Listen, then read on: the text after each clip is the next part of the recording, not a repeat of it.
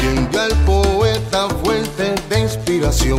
Fue esa mujer, esa mujer que entrega un verdadero amor, quien da la luz a la vida y suspiro con amor. Es la que vibra de pena, quien da fuerza al corazón.